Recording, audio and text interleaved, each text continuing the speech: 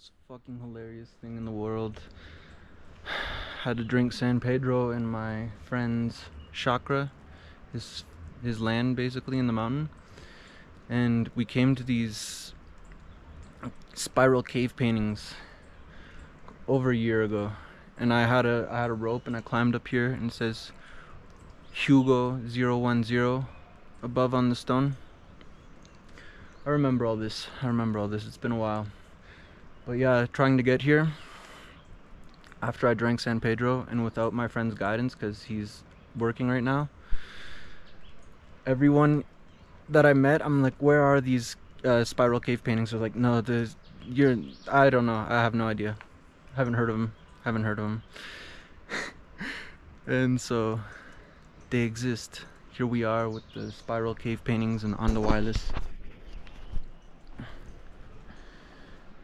And what this all means apparently it's some conception of the universe that's what they always say just to make it sound important. Maybe it's just a bunch of worms swimming around in water really. But in any case maybe maybe they drank san pedro and this is what they saw. I think that's the most plausible explanation